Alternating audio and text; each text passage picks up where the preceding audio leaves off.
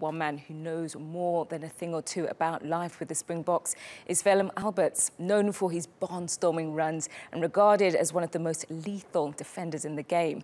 The bone collector, as he's known, has 43 caps for South Africa. He's now playing for Stade Francais over in France. Lance Santos caught up with Alberts over a coffee in Paris. Life in Paris, you moved uh, a couple of years ago now. Uh, it is very different to the beaches and the, the jungle and lovely life that is Durban. Uh, how was Yeah, it moving sure. across?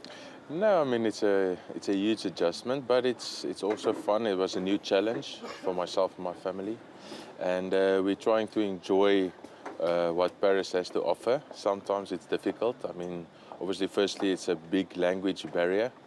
Um, we're still struggling with our French and uh, a big culture uh, change as well. But uh, we're trying to embrace it and uh, just to um, enjoy life and uh, yeah, enjoy every moment that we have here. And what do you miss the most? I mean, I've seen on your Instagram uh, before, you know, at the uh, Stade pre-season, you're always at the front of the braai, the barbecue. Yeah, uh, unfortunately, the weather is, doesn't allow you a lot to have a, a, a good braai. So when the sun is shining, I'm having a braai, sometimes five times in a week because it's the only sunshine you have.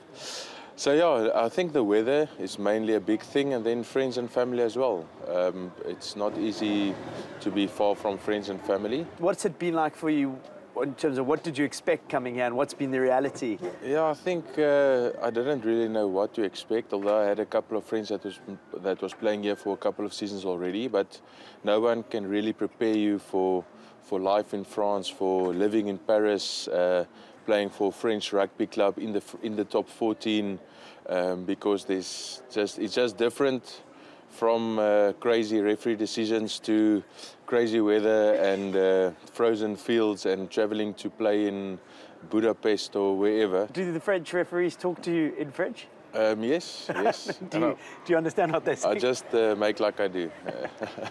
the, the thing is with the, with what what makes top 14 so interesting is if the top of the log club play the bottom of the club uh, bottom of the log club away. It, it's it's always a 50-50. So at least half of the games are really interesting.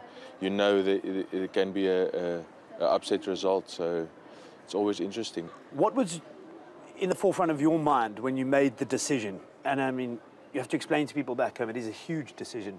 Your whole life spent in South Africa to just Yeah. up and move. It's not just a sporting financial decision, is it? In my case, I had a good couple of years in playing in South Africa.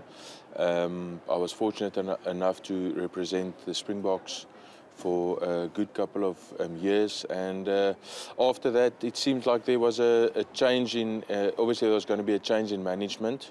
So, in my case, I felt the uh, Springbok rugby was a little bit unstable.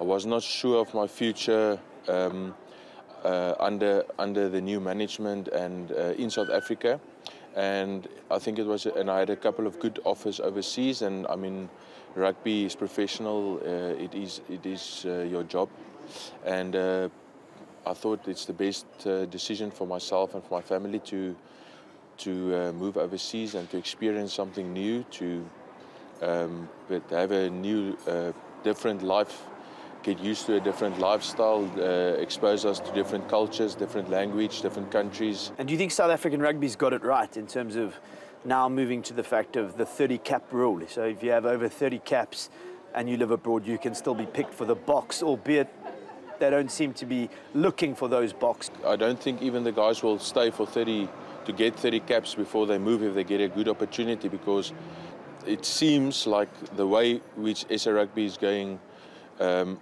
the people would just, uh, the players would look after themselves and make sure they have a good future.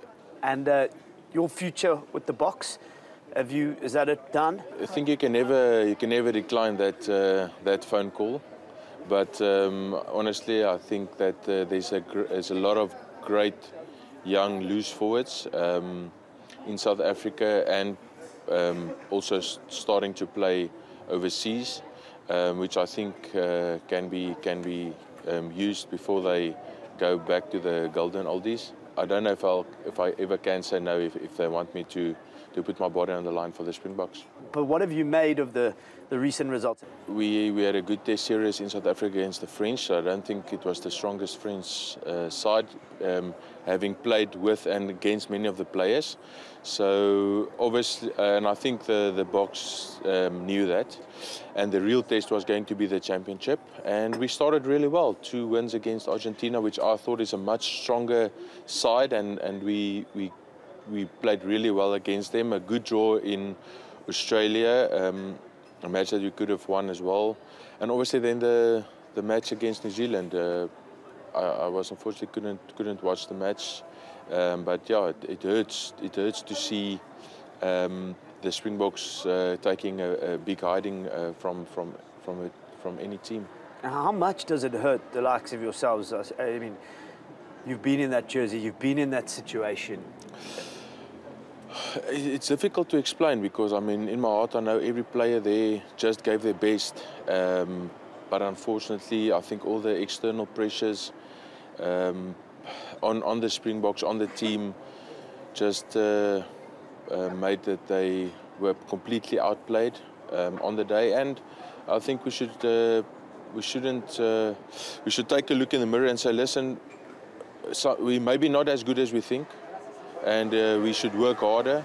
And there's a lot of problems that we that we need to fix, and, and we, there should be no excuses made, and uh, get the right people in to do the job, um, and uh, just go out there and, and, do it. And you said not everything is good in Paris. What do you miss the most? I mean, you're quite an outdoorsy person. Yeah, I think um, it's it's it's a bit more difficult to to find good uh, fishing spots and uh, places to go and uh, maybe do some hunting. But um, slowly but surely, we I'm, I'm, getting hold of the right people, and uh, um, but it's it's it's just it's a big city. I'm more a, a country country boy.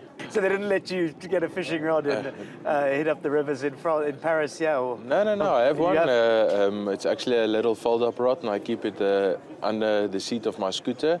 So whenever there's a good uh, spot of water, I can quickly test it out and see if there's something that that's that's biting. And uh, you've got a young family as well, uh, out in Paris, uh, two girls. What is it like being a dad and a rugby player? Do they understand yet what dad does? My um, oldest daughter is four years old now, so I think she understands, but she just loves to come to watch the rugby because there's a lot of pink flags uh, waving around and she loves pink. So I don't even think she watches 10 minutes of the rugby, but that's all right with me. but um, thank you so much. Uh, it's, it's been a, a pleasure. pleasure talking Thanks, Lance. Thank it's been great.